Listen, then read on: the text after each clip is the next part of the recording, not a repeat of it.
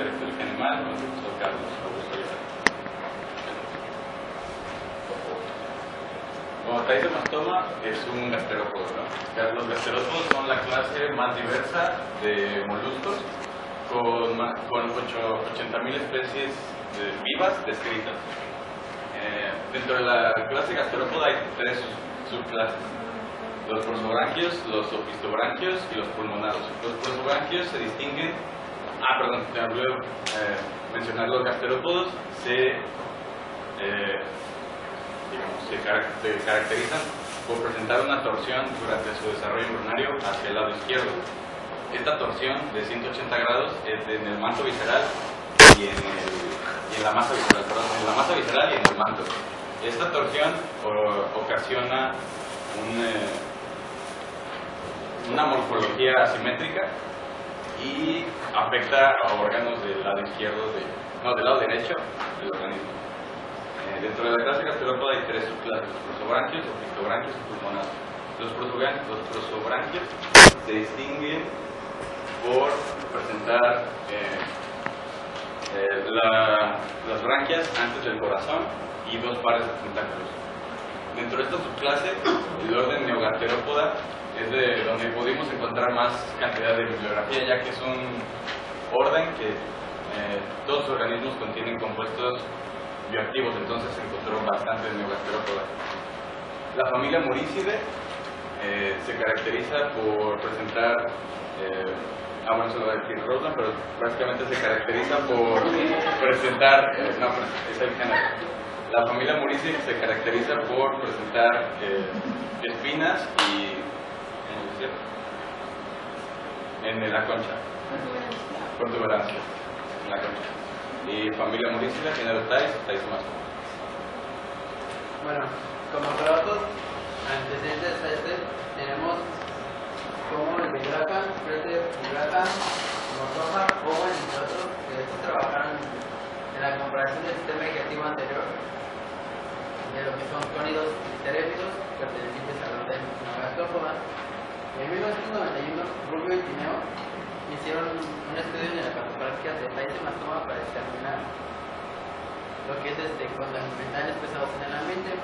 El más reciente, en los adolescentes Velázquez y Martins, hicieron histomorfología de la glándula accesoria de de de Mastoma es un caracol que vive en zonas rocosas de pero se puede encontrar de 10 a 20 metros son zonas de mejillones o trazobalanos, ya que estos son sus alimentos característicos. Se, tres síntomas se caracteriza por tener una concha grande, gruesa, la última vuelta es más, ocupa más de la mitad de su longitud y su abertura es grande, se distingue por tener estos surcos a lo largo de la boca. No. Labio. Ah, el labio. Alrededor del labio. Su sifón se distingue por ser ancho y corto. Este, este tiene una glándula hemorragia que es la responsable de provocar, de sintetizar la sensación Bueno, nuestro objetivo fue, este, mediante técnicas históricas, identificar describir y caracterizar las estructuras celulares que integran los tejidos, órganos y sistemas de nuestro caracol talismastoma. Bueno, como para la elaboración de las laminillas, primero se conectó el organismo en la playa de Alta Concha, eh, se mantuvo vivo hasta la disección y previa a la disección se, eh, se relajó con hielo durante 30 minutos. Se quebró la concha cuidadosamente para evitar dañar al organismo y se colocó en una zona de disección. Eh, se realizaron los cortes y dichos cortes se depositaron en un espucaset eh, y este espucaset se depositó en un recipiente con formol de paciente. Eh, seguido de esto, para eliminar el formol, se realizó un lavado con agua corriente y se preservó la, se preservaron las muestras en alcohol del 30%. Eh, seguido de esto, eh,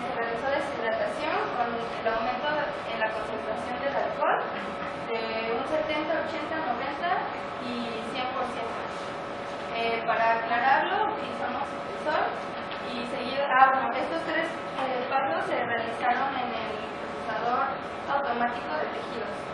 Eh, la infiltración eh, se colocó eh, las muestras en parafina y después se realizaron bloques con, eh, con parafina y se redujo el exceso de parafina para posteriormente realizar los cortes. Fueron tres cortes, en cada, en cada muestra se realizaron tres cortes de 1 de 4 micras. Se prepararon las laminillas para realizar la tinción y posterior a bueno, las tinciones que se realizaron fue la eh, de matosina, de Gil, la azul eh, pri- eh, pri- pri- primímica y la Van Houston modificada. Y posteriormente, eh, después de la tinción, se realizó el montaje con eh, agregando gotas de resina y un objetos y se, se realizó observación a microscopio. Bueno, eh, en la branquia o o tenidio, como también se puede conocer, eh, podemos observar en la imagen A eh, la base tenidial, que está aquí en la parte superior, eh, está formada por músculo liso de color amarillo y tejido conjuntivo denso, eh, bueno, formado- bueno, en coloración azul. Estos sostienen los filamentos tenidiales o branquiales, que están formados por epitelio cilíndrico simple. Eh, en algunas zonas se, eh, se, se menciona que en algunas zonas se puede observar estecillos. Además de, de estos, sí, eh, adentro de los filamentos sí podemos encontrar células eh, basófilas muy pequeñas, eh, conocidas como eh, hemocitos, eh, que, están, bueno, componen a la hemolinfa. Y esta tiene, tiene funciones antimicrobianas y también patógenas. Eh, también aquí en, en la base tenidial eh, eh, se pueden observar las lagunas hemolinfáticas, que son las que ayudan a transportar a través de, bueno, del organismo eh, al, al filamento la hemolinfa. Este es un corte transversal de la probosis. La probosis es una prolongación del tubo bucal. Está formado por epitelio cilíndrico simple. El descansa sobre una membrana basal con la técnica de trifluorometilo se tiñe de azul un poco oscurito. Este, en la parte apical del epitelio se encuentra la cutícula. La cutícula está formada de queratina y se tiñe de amarillo. Este, debajo del epitelio se encuentra tejido, conjuntivo, tejido conjuntivo laxo y fibras musculares. Cuando el caracol atrapa a la presa por la presión hidrostática, la, la se mueve. Entonces, esta presión hidrostática hace que las fibras musculares se contraigan y es así como la probosis empieza a moverse para poder pasar la presa hacia la boca. Entonces, bueno, este es un acercamiento del, del epitelio, se encuentran son las filiformes y los núcleos son muy alargados, casi del tamaño de la célula. Entonces, cuando, cuando la presa ya pasa a la, a la boca, después pasa al estómago y enseguida a la glándula digestiva. Este es un corte de glándula digestiva. Está formada por numerosos acinos, conductos tubuloacinares y también se observan cuatro conductos del intestino. Este, alrededor de los acinos se observan células pigmentadas que tienen función fagocítica, este, cumplen con la función de desechar el alimento que el animal no puede digerir. Este es un acercamiento de los acinos. Eh, los acinos son células cilíndricas con un, con un núcleo basal, con la técnica azul de picrometilo el, núcleo es cafezoso y el citoplasma es claro, solo que se ve azul porque son granulaciones de secreción glicoproteica y las otras granulaciones amarillas son de secreción proteica. Aquí el alimento ya llega parcialmente digerido, pero estos dos tipos de granulaciones se encargan de digerirlo totalmente y así poderlo pasar al conducto intestinal. Igualmente se encuentran células fagocíticas que se tiñen de color oscuro alrededor de los acinos. Ese es un acercamiento del conducto intestinal. El conducto de los bacterópodos este, se divide de cuatro, o a- de cuatro partes o a cinco partes, dependiendo de cómo lo maneje el autor.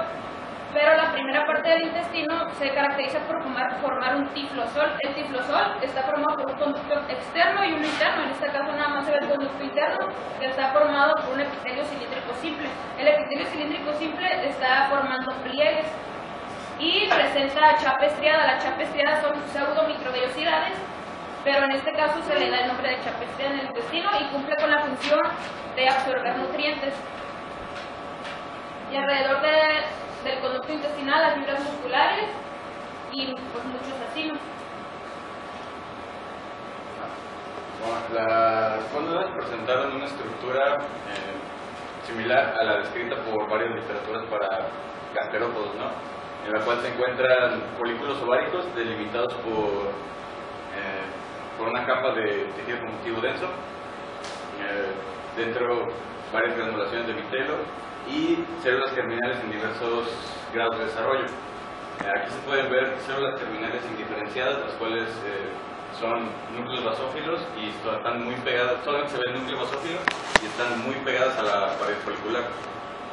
Eh, obogonias, las cuales ya tienen un mayor volumen, se les alcanza a ver un núcleo y siguen pegadas a la pared folicular.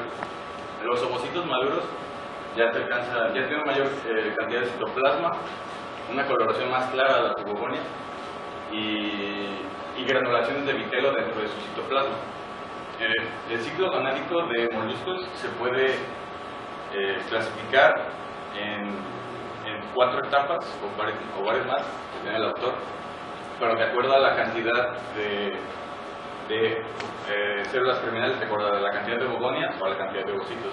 Nosotros clasificamos a nuestro organismo como maduro ya que la cantidad de ovocitos observados en las muestras fue mayor a la de Bobones.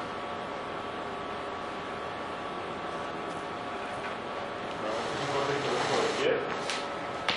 Este, se pueden observar células secretoras que tienen puesto, eh, bueno, en el pie se encuentran varias células secretoras. Este, se encuentran células calciformes, se encuentran células, células, células este, adhesivas células que secretan este, sustancias antibacterianas. Aquí podemos observar, pues tal vez sea esta célula, este, una célula secretora de, de, sustancias adhesivas, una célula caliciforme y bueno, este, también el epitelio cilíndrico simple. aquí se alcanza a ver ciliado, ya que por, bueno, así que el silvestre caracol este, en su piel tiene en la parte lateral los cilios desaparecen y en la parte, este, pues la parte basal, ahora sí que la que toca la superficie, este, presenta cilios, puede ser por el movimiento que, que genera. Este, aquí tenemos tejido con conjuntivo laxo, y bueno, ese es esa, este, es Luego aquí tenemos, esta sería parte lateral, porque no tiene cilios, este, no presenta cilios, tal vez una que otra célula calciforme, como va avanzando, como va avanzando como se va alejando de la, de la parte basal, se va desapareciendo las células calciformes, va viendo disminución en ellas. Luego el músculo, este, pues el pie, así todo, todo el pie de, todo el pie de la parte basal eh, es un músculo así completamente este, lleno de músculo y disminuye mucho la capa de tejido conjuntivo como por aquí podemos verlo. O sea, la capa de tejido, de tejido muscular es multidireccional, lo que permite que el caracol pueda moverse y así y también contraer este, su, su pues, o sea, contraerse hacia la concha, ¿no? Aquí podemos ver también pues, células caliciformes, tejido conjuntivo, pero pues vemos la capa enorme de, de músculos. ¿Qué, qué músculos? Y pues,